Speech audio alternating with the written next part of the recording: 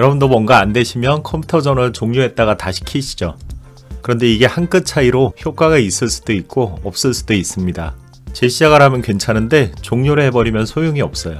상식적으로 생각했을 때는 재시작보다 종료가 더 효과 있을 것 같잖아요. 그런데 그 반대입니다. 왜 그러냐면 윈도우 10부터 추가된 빠른 시작 때문에 그래요. 윈도우 10이나 윈도우 11은 빠른 시작 켜기라는 기능이 기본적으로 활성화되어 있거든요. 그 상태에서는 PC를 종료해도 완전히 종료가 안 되고 현재 상태를 임시 파일로 저장해 뒀다가 전원을 키면 그 임시 파일에 저장해 둔 정보를 불러와요. 그렇게 되면 성능이 100% 돌아오지 않고 어떤 문제가 있었다면 해결되지도 않는 겁니다. 그럴 바엔 차라리 다 시작을 하는 것이 나아요.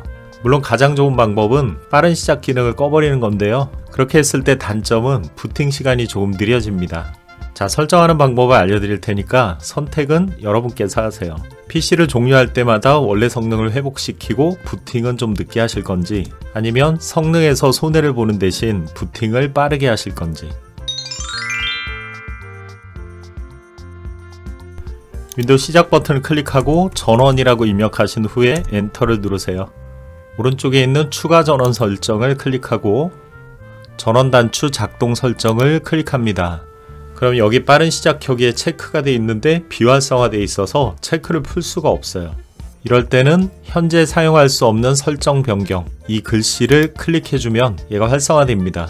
이제 빠른 시작켜기 옆에 체크를 해제하고 나서 변경 내용 저장을 클릭해 주시면 설정이 끝납니다. 자, 제대로 바뀌었는지 확인해 볼까요? 가보면 빠른 시작 켜기가 풀려 있죠.